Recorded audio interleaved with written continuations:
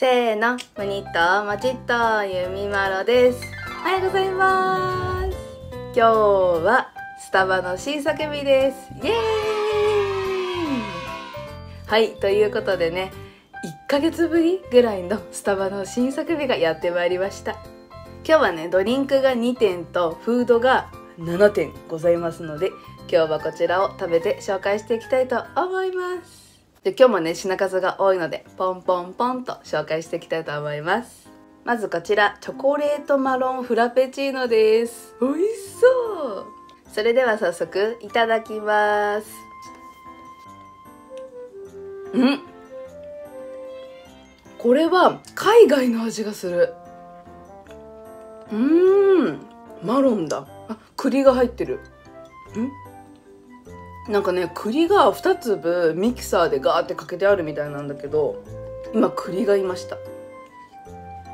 なんかスタバで飲んだ中でなんか今までにない味っていうかえなんか栗のフラペチーノって昔出たことあるのかな？私はね初めて飲んだんだけどうんめっちゃ美味しい。でもチョコレートの味がはは あんまりそんなに強くないかな。でもなんか正直多分これねあの好き嫌い分かれる味な気がする。なんかちょっとスパイスみたいな感じ。なんかシナモンとかじゃないけどなんかちょっと海外っぽい味っていうか何て言ったらいいんだろう。私は外国のお菓子とかすごいあの好きなタイプだから全然あの美味しく飲めるんだけどそういうちょっと外国のお菓子とかが苦手な方だったらちょっと苦手かも。あとなんかここうなんかなんだろう。スパイス系がちょっと苦手な方だとあちょっと全部飲むのはきついかもしれない。もしかしたら。なんか一口目はちょっとびっくりしたけど ずっと飲んでたらねなんか馴染んできてすごい美味しい。あこれもしかしたらあのマロンカカオソースっていうのが入ってるらしいんだけどそれがなんか若干その海外っぽい味がするのかもしれない。なんかねこの下のところとこのたこれ時間経ったからかな。これ最初入れるのかちょっとよくわかんないんですけどここの溜まってるやつがなんか結構海外っぽい味がするけどこのなんか中間らへん飲むとそんなにその海外っぽい味はしないからもしかしたらこのソースがなんかすごいかもしれない。甘さ的には結構甘めな方だと思う。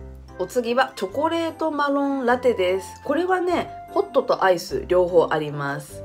え見て。これさ炭治郎書いてくれてるの。めっちゃ上手じゃない？すごい。私がねあの鬼滅好きってあの知っててくれてて。下になんかねちょっとねつぶつぶみたいなやつが入ってるんですよ。うん。ううまっ美味しい。あのね全く違う味。まあそりゃそうだと思うんだけど全然違う。こっちはもうコーヒーがすっごく強い。あラテだからそうか。あのコーヒーの味です。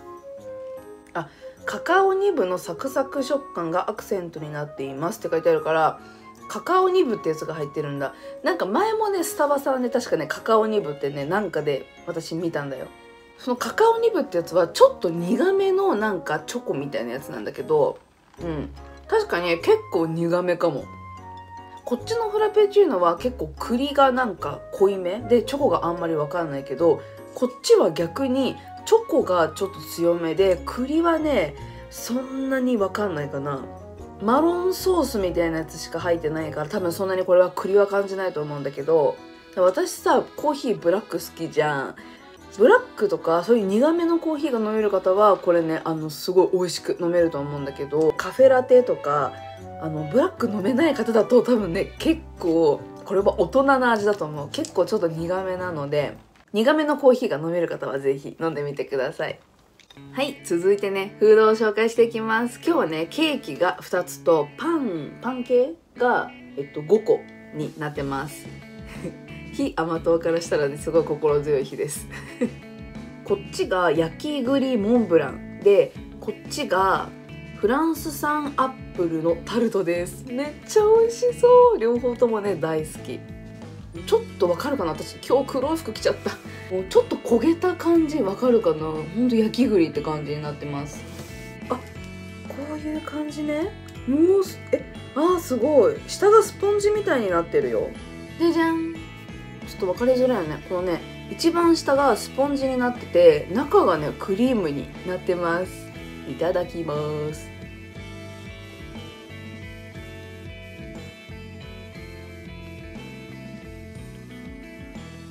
うまっ。うまっ。優勝。めっちゃ栗。なんかさ正直ちょっとさ最初さこんだけクリーム入ってるからいやこれクリームに栗の味負けるんじゃないってちょっと思ったんだけど全く負けてない。もうこの表面のこの栗マロンペースト的な感じのやつがめちゃめちゃ濃厚ですごい思ってたよりすっごい栗だった。中からスポンジみたいなのが出てきた。うん。わかるかな？この中にスポンジみたいな黒いのが出てきた、ね、マロンペーストで和えたスポンジクラムと栗のダイスをココアスポンジにのせって書いてあるからマロンペーストで和えたスポンジだ。あ。なんかねしっとりしてるすごい。待ってこれ中から栗出てきたんだけど。ここに栗があるんだけどなんかねゴロッと入ってる。これはめちゃめちゃ美味しいし結構ああの結構重ため。あ初めて見た方こんにちは。私こう見えて非甘党なんですけど非甘党ねこれすっごい美味しいんですけど栗がすごい濃厚だからね結構甘めだからなんかブラックコーヒーとか飲みながら食べたら1個食べれると思う。うん。こういうこうあのちょっと苦めのコーヒーがめっちゃ合います。あとね私あの新作全て買ってちょっとずつ食べるという皆さんの意見を参考にさせていただきましてそうなりましたので家族と食べたりとか自分で後で編集しながら食べたりします。続いてこちらアップルのタルトです。アップルのタルトです。これすごい美しいよねなんか。おーすごえ待って待って待ってこれすごい柔らかい。わお。めちゃめちゃ柔らかいよこれ。りんごが。とこれこのまま。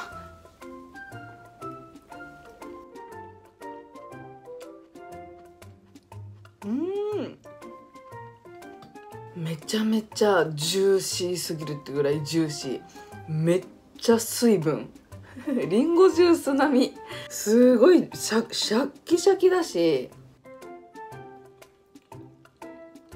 なんかねこれねなんかさアップルパイってさなんかあのリンゴを煮詰めるじゃない？じゃなくてなんか生のアップルを焼いてるんだって。だから爽やかな酸味やみずみずしいアップルの風味が楽しめますって書いてある。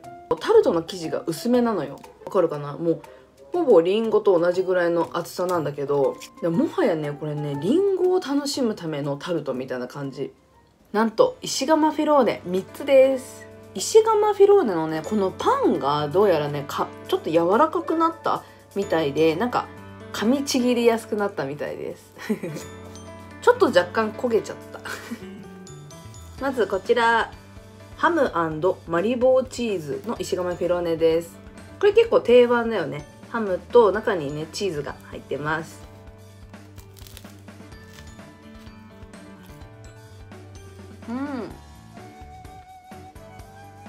確かになんか前よりそんなにザクザクザクザクしてるけどなんか口の中をちょっと若干怪我怪我するみたいなやつはない。うん。ま私いつもさこういう新作を食べるから定番のハムとこのチーズのやつってあんまり食べたことなかったけど美味しいね。やっぱハムとチーズだもんね。そりゃうまいよね。続いてこちらきのこモッツァレラ石窯フィローネです。これもね見てみてきのこがすごいたっぷり入っててチーズがすごい入ってます。美味しそう。あめっちゃいい匂いする。めっちゃいい匂い。きのこ秋や秋。いただきます。うん。うまっ。きのこはねエリンギブナシメジヒラタケっていう3種類が入ってるらしくてソースにさトリュフオイルってやつが使われてるらしいよ。え。ー、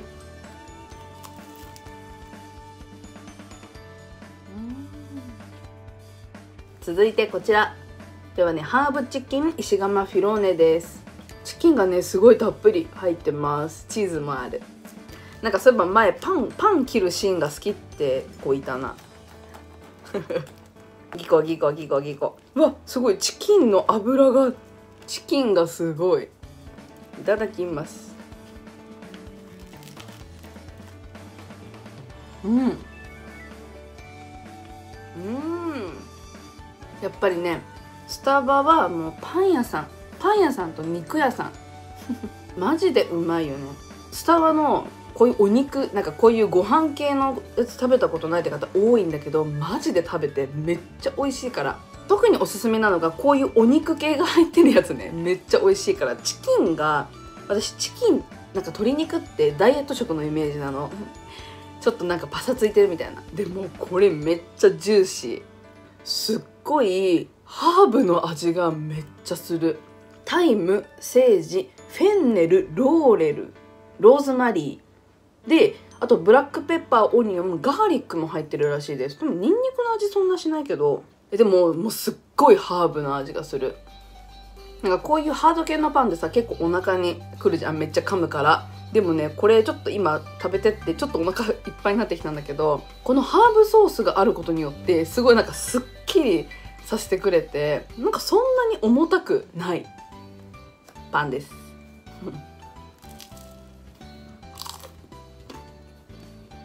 続いてフォカッチャなんですけどちょっとごめんなさい。焦げちゃいました。真っ黒クロスケになっちゃった。1個目がねサーモンフォカッチャレモンバターソースです。美味しそう。でもさ焦げてるけどさ黒い服着てるからちょっと若干あんま分かんないみたいな。わかるか。うーん。うまっ。パン自体にタイムバジルローズマリーオリーブオイルが練り込まれてるらしい。なんかこの中に入ってるサーモンがめちゃしっとりしてるサーモン。味はねレモンバターソースって書いてあるんだけどレモンがめっちゃ強いわけではない。なんか酸っぱいとかはなくて多分気持ち入ってるんだろうね。続いてこちらパストラミビーフフォカッチャです。なんかあパストラミか。なんかローストビーフのフォッカッチャなら前食べたよね確か。ちなみにあのちょっとねこのオレンジ色っぽいのはレッドチェダーチーズっていうのが入ってるらしいです。お肉めっちゃ詰まってる。うーん。肉って感じ。あのねこれ黒胡椒が入ってるんだけどこの黒胡椒ブラックペッパーがめっちゃいい感じ。これねパンの下のところになんかソースみたいなやつが塗ってあるんだけどオニオンソテーとポテトをあえたクリームフィリングを塗りって書いてあるんだけどそのねクリームフィリングがめっちゃうまい。ポテトの味がする本当に。美味しい。なんかマッシュポテトみたいな味っていうかなんか滑らかな感じ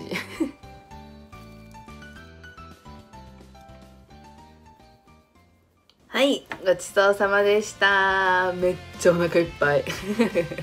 今回もねめっちゃ美味しかった。フラペチーノはあのー、これはでも今までにない味だからね是非飲んでみてほしい。私は好きですちなみに。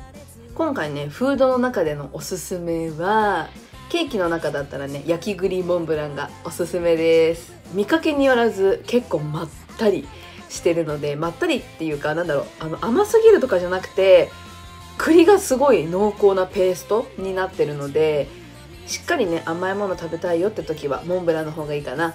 どっちかというとちょっと小腹が空いたレベルだったらねアップルのタルトの方がどっちかといえばちょっとみずみずしいしあの食べやすいかもしれないです。このパンの中だったらそうだな。多分でもこれいつもレギュラーメニュー的な感じだと思うんだけどきのこモッツァレラ石窯フィロネです。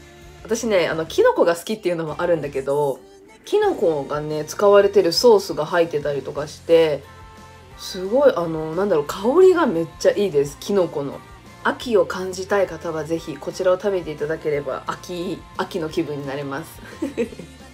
石窯フィローネもねだいぶあの噛みやすくなったのでお子様でも食べやすくなったかなと思います。でも時間が経つとねやっぱりちょっとあの硬くなっちゃうので気をつけてください。みんながね何食べようかなって選ぶのの参考になったら嬉しいです。今日も見てくれてありがとうございました。この動画が少しでもいいと思ったら高評価とチャンネル登録お願いします。それではムニッともちっとゆみまろでした。見てくれてありがとうございました。明日はマクドナルドです。バイバイ。